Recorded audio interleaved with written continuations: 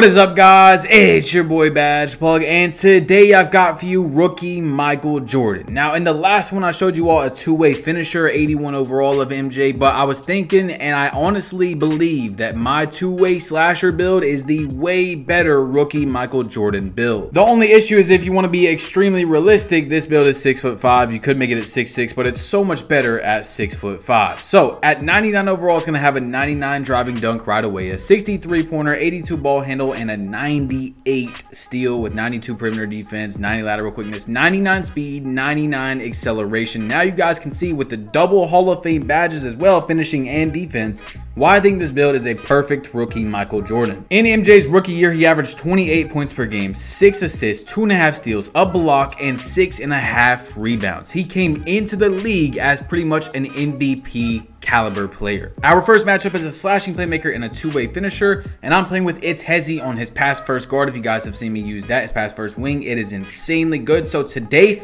we're going to be going crazy in the park with the real rookie Michael Jordan. Now you see, first play the game, contact dunking. When this man came into the league, he was an athletic freak. To this day, about 35 years from his rookie season, he would still be a top athletic player in the NBA, right at the very top. You see cradle dunking, he's just unstoppable on NBA 2K22. And guys, just a little quick update, rookie Michael Jordan or not, I still love this build and it came out much better than I thought it would as well. It's so good. Cradle dunking once again, he's unstoppable. Too athletic. What can you do? You only have to make him shoot and then pray he doesn't make it. Hezzy into the ISO, you already know He's cooking up on that pass first wing. I've showed you guys that build before. It is amazing. Look at the triple threat. Oh, spinning, snatching back, cooking up, doing whatever we want to do on our opponent. He is dazed and confused. He's not able to hold Michael Jordan going down, contact dunking in traffic.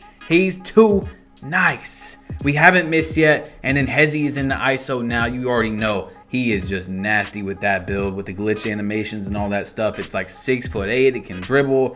It's awesome. So 13 to 0. We're trying to get back into the ISO. He's pressing really high up right here, stepping back, trying to get a little bit of a cook. You know what I'm saying? I don't want to just run in and score, right? Because he is playing me really high. But I want to, you know, I want to cook him up a little bit, go down behind the back, dot hezzy, and he tips it, goes out of bounds. 13 0. Five seconds left. We have to do something extremely quick. I'm going down. Kick it to Hezzy, and he doesn't take the shot. It's okay because this is a rookie Michael Jordan, right? It has Hall of Fame defensive badges. You want to see that defense? We can show you that defense. Going down, catching the lob, and we missed the lob. It's okay. Rookie mistakes. You know what I'm saying? Rookie mistakes. But real quick, I want you guys to let me know who you think the GOAT of the NBA is. Who is the best player to ever play in the National Basketball Association. So you see, I'm going down, hopping, kicking it to Hezzy's pulling up, greening that thing. Now we've got slashing takeover. And slashing takeover actually, I just learned recently, gives you like the best attribute boost. It gives you like seven or eight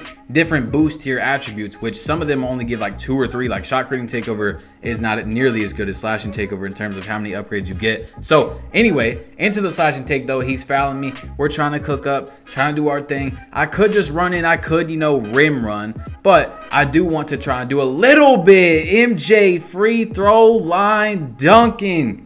Oh my gosh. In a park game, this man is not right. He is nasty. Anyway, here we go. Into the last play of the game. My man's cold. I'm driving down, contact, dunking him. No, no, I'm not passing that thing. Next is a slashing playmaker and a stretch forward. You might have thought, oh, the dude dropped down. He's definitely going to pass it. Nope, does not matter. MJ cradle dunking. He's too athletic. He's too nasty. When he came into the league, this man was already a top player, like at the very, very top. Look at this. I missed the three pointer, but it's okay. Hezzy's going to get the board. I'm going to run back out a little bit and hold up, step back, green that thing. Okay. So look, I told you all this two way slasher, it's not going to be as consistent as my facilitating finisher with Hall of Fame shooting badges and, you know, 10 more shooting badges and 20 more three pointer. But this build can shoot. You just seen it in live action, contact dunking that man. Of course, it's not going to be super consistent. But also, what's so great about this build is you have a 99 driving dunk. Each and every person I play against, they know or they figure out very often that it's almost impossible to stop in the paint. So you basically have to be standing in the paint to get a good contest, meaning your shots are always going to be wide open. If you take your shots correctly, almost every single one is going to be wide open, which is going to help you shoot even with that low rating. You know what I'm saying? It's going to make it a lot easier versus if you had like let's say a 75 three-pointer, but your build wasn't that good at, you know, driving, you're still going to have to work for that shot. This build, everyone's standing in the paint. Everybody, because they know what they have to do to try and get a stop. Now, 12 to 0 in this game. I want you guys to comment down below and let me know what NBA player you want to see next, college player, uh, Drake. It does not matter. I will try my hardest to bring it to you, okay? 12 to 0. I'm cooking up, snatching them back, going down, long athlete layup. I miss. And it's okay, though, because you came here for a rookie Michael Jordan, so you need to see the defense as well. Except for he takes up a bad shot, 10% contested. I guess it wasn't a horrible shot, but it wasn't necessarily a great shot either. And now we're back into the ISO.